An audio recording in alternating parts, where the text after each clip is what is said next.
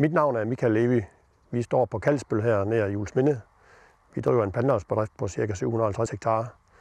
Vi har testet balayer her i 2019 øh, i en sort, det her kvium med, og vi har fundet ud af, at vi har en særdeles god effekt på sygdomsproblematikken. Også bedre end Bell og Vavada, som vi har brugt øh, tidligere, og håber på, at øh, vi får balayer godkendt i 2020, så vi kan bruge det i, også i andre afgrøder. Vi kan se, at øh, har en særdeles god effekt på, på sygdommene, som er i veden, og en god langtidseffekt.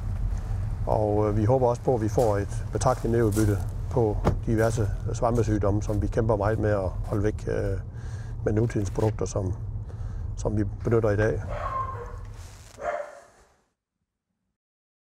BASF. We create chemistry.